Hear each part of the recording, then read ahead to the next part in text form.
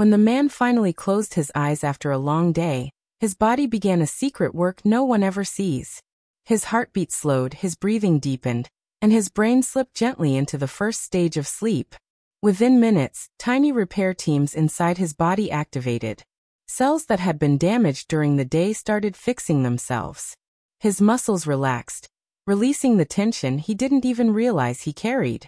As he drifted deeper, his brain began cleaning itself, washing away toxins, organizing memories, and locking important information into long-term storage. His immune system woke up like a night guard, searching for any signs of illness and strengthening his defenses. Even his hormones shifted. Growth hormones repaired tissue, and stress hormones dropped to their lowest levels. During REM sleep, his eyes moved rapidly under his eyelids as dreams formed. In this stage, his brain processed emotions, helping him heal from stress he never spoke about.